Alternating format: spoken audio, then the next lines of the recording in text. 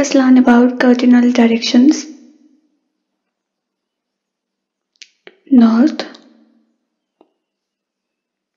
South,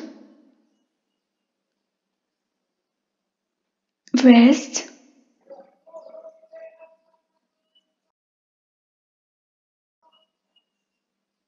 and East.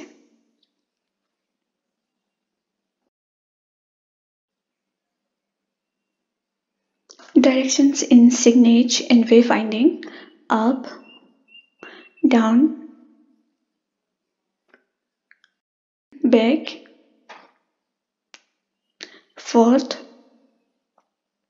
right, and left.